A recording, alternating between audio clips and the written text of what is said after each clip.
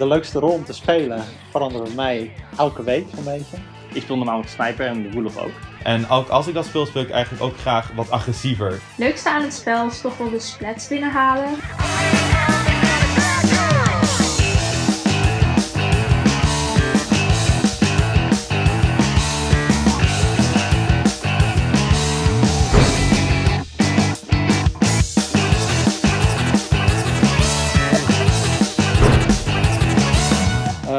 Denk dat wij goede oefening hebben. Ik denk dat wij een goede teamspirit hebben.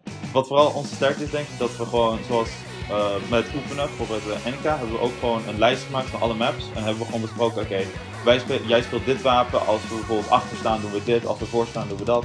Nou, degene met de meeste ervaring, uh, onbetwijfelijk Brian. We mogen blij zijn dat we hem als, uh, als Nederlander hebben.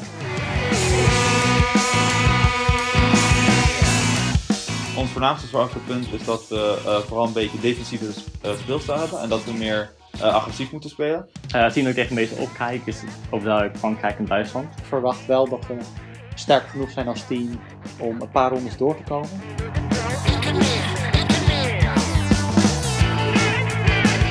Uh, op een moment waar ik, was ik bij Brian's huis en zijn we kibbeling gaan halen.